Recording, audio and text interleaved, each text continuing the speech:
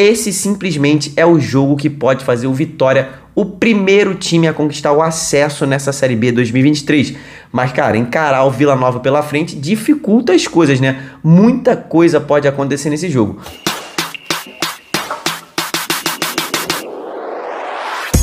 Fala, torcedores e torcedoras fanáticas e fanáticos. Meu nome é Diogo Cunha e eu sou um torcedor muito apaixonado por futebol, exatamente igual você. Estamos chegando nesse domingão aqui, galera. Pô, meu time acabou de ser campeão da Libertadores e eu tô aqui gravando o vídeo aqui quatro e meia da manhã depois de comemorar pra caramba. Então, o seu like, esse vídeo, tenho certeza que vale. E você confere aí se vale a sua inscrição também, tá? Tamo rumo à meta de 30 mil inscritos.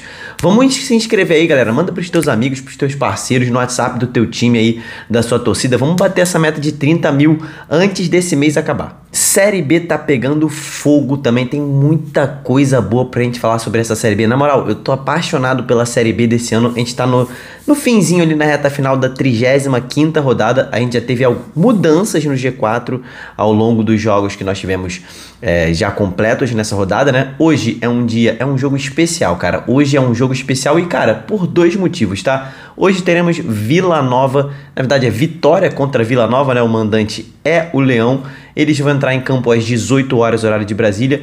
E o motivo 1 um para esse jogo ser especial é que o Vitória pode subir, pode concretizar o seu acesso já nesse jogo de hoje. Já já vou explicar como o Vitória pode conseguir isso. E o motivo 2 é porque o Vila pode dar mais um passo na sua missão quase impossível, né? No seu sonho de também conquistar o acesso nesse ano ainda. Vamos entender tudo isso agora e descobrir quem é o favorito nesse jogão que teremos hoje na Série B. Primeiro vamos falar da situação do mandante, que é o Vitória, e não é qualquer mandante, cara. O Vitória é o melhor mandante de toda a segunda divisão em 2023. São 17 jogos dentro de casa, dentro do Barradão, o caldeirão do Vitória. Foram 13 jogos vencidos, dois empates, duas derrotas Cara, essa estatística eu sempre falo para vocês que é uma coisa absurda, né? 27 gols marcados e 6 gols sofridos, cara. 41 pontos somados. O Havaí, por exemplo, tem próximo disso, né? 42 pontos em 35 jogos. Então, para você ter um pouco da noção do que, que o Vitória faz dentro da sua casa, né? E galera, o que, que o Vitória precisa fazer para subir hoje, para não depender de mais nada e a torcida lá invadir as ruas de Salvador comemorando o acesso. Cara, é muito simples. O Vitória só precisa vencer o jogo. Vencendo o jogo, tá garantido o acesso e cara, um acesso muito esperado e muito merecido. A torcida do Vitória tá com o grito ali entalado na garganta.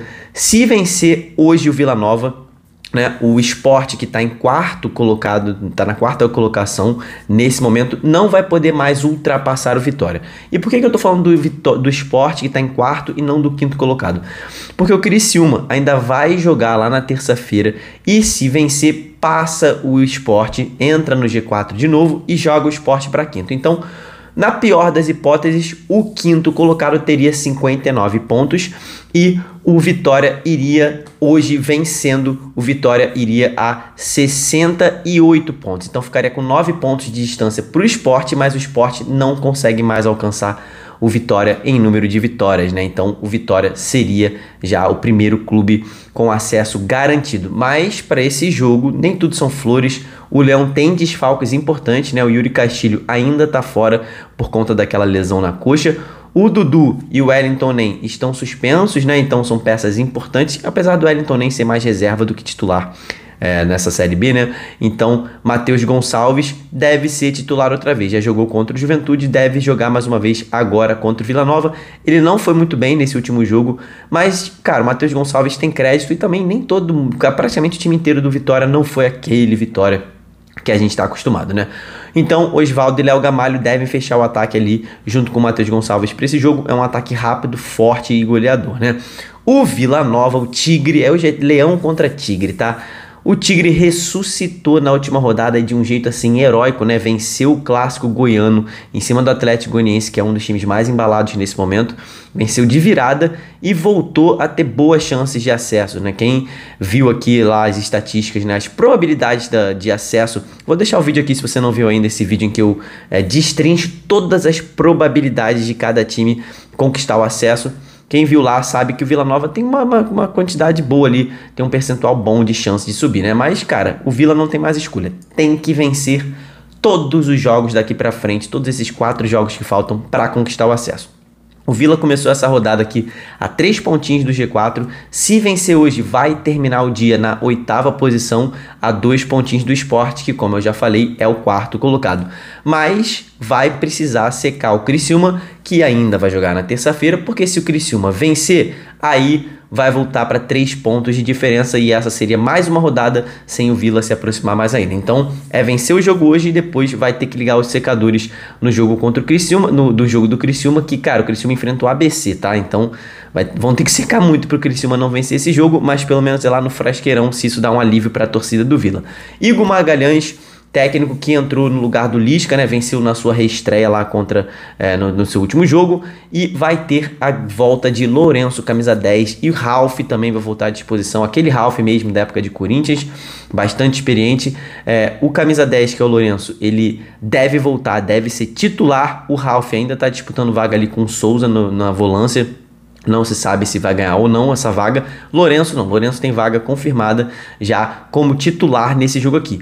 O Vila Nova, se você não sabe, tem a melhor defesa de toda a Série B. Cara, é uma defesa que, principalmente no primeiro turno, cara, muito difícil de ser vazada, né? Voltou a ser uma boa defesa agora, mas não tá naquele nível é, lá do primeiro turno, né?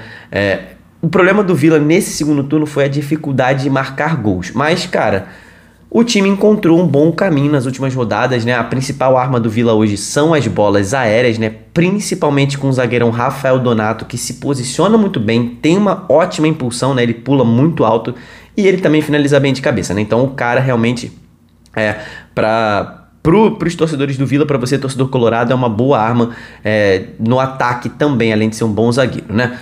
O retrospecto histórico entre Vitória e Vila Nova, um dos dois dos melhores times dessa Série B 2023, indica que foram 12 jogos na história com 7 é, triunfos, 7 vitórias do Vitória e 3 vitórias do Vila. Então o Vitória, gente, o Vitória tem mais que o dobro é, de, de vitórias em cima do Vila Nova, né?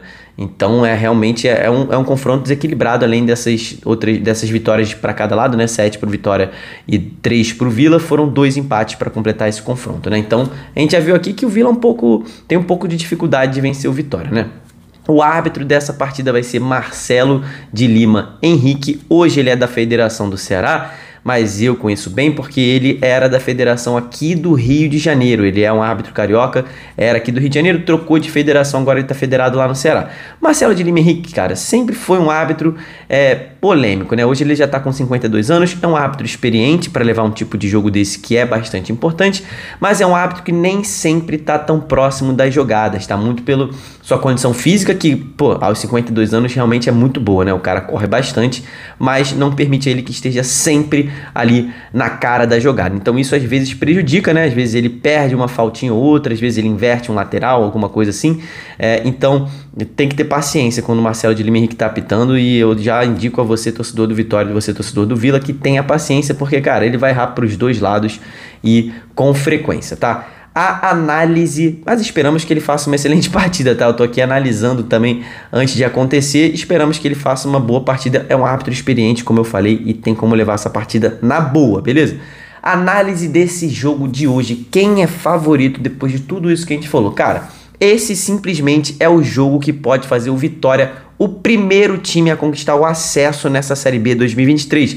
Mas, cara, encarar o Vila Nova pela frente dificulta as coisas, né? Muita coisa pode acontecer nesse jogo. O Vitória não conseguiu furar o bloqueio do Juventude na última rodada, não conseguiu furar a defesa do Juventude, que também tem uma boa defesa. O Vitória não fez um jogo tão inspirado, não fez um jogo tão bom, apesar do Barradão é, estar lotado na última rodada, estará lotado hoje de novo. Mas, cara, também como os números é, estão mostrando pra gente, cara, não tem como duvidar que o Vitória é sim o melhor time de toda a Série B, é o time mais dominante dentro e fora de casa, mas principalmente dentro de casa, né? É muito difícil também furar a zaga do Vitória. Como eu já falei aqui nesse vídeo, o Vitória tomou só 6 gols dentro do Barradão, cara. 17 jogos e 6 gols sofridos. É quase um gol a cada três partidas de média já. Então é uma coisa assim é absurda o que o Vitória faz dentro de casa, né? Hoje vai depender muito do um contra um do Matheus Gonçalves, principalmente do Oswaldo, mas principalmente do Matheus Gonçalves, que quando tá inspirado faz a diferença, né? No X1 ali, quando ele rabisca ali pela ponta e encontra ou o Léo Gamalho ou alguém ali que venha de trás para finalizar porque o Vila Nova, como eu falei, tem a melhor defesa de todo o campeonato e é um time que vai para esse jogo aqui entrando, vai entrar nesse jogo pensando em vitória, tá? É pensando em vencer.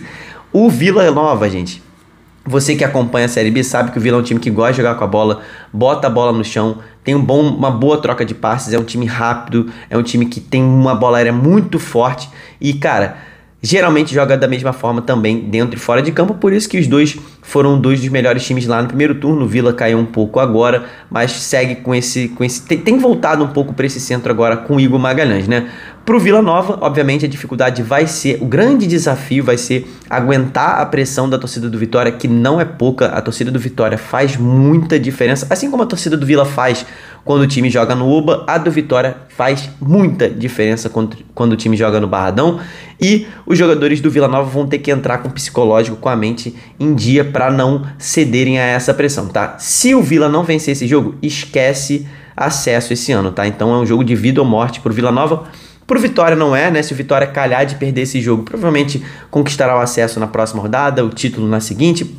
Tá encaminhada a vida do Vitória, né? Só aquela ansiedade de saber quando que o Vitória vai selar esse título e essa classificação. Pro Vila não, o jogo de hoje é vida ou morte.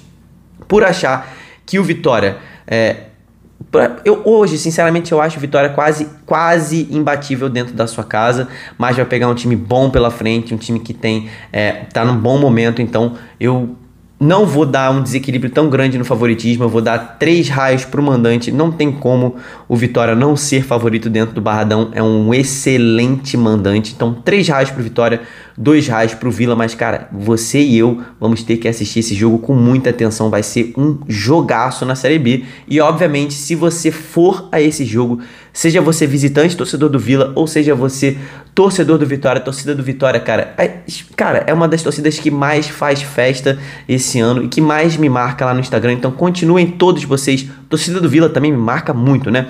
Duas torcidas que fazem muitas festas. Então me marquem no Instagram, filmem lá se você vai no estádio, me marca na festa da sua torcida, que eu vou repostar geral. Essa rodada da Série B vai pular o dia de amanhã, segunda-feira não teremos jogos, serão mais dois para fechar essa rodada na terça, mas amanhã tem vídeo aqui no canal sobre Série B não precisa ficar triste porque tem vídeo aqui, então se inscreve, vê, confere se você está inscrito, se inscreve, ativa o sininho para receber todos os vídeos, não só de Série B, mas tudo que vem pela frente aí. Confere se deixou o seu like também. Muito obrigado por ter ficado até o final. Até o próximo vídeo. Tamo junto, valeu e falou.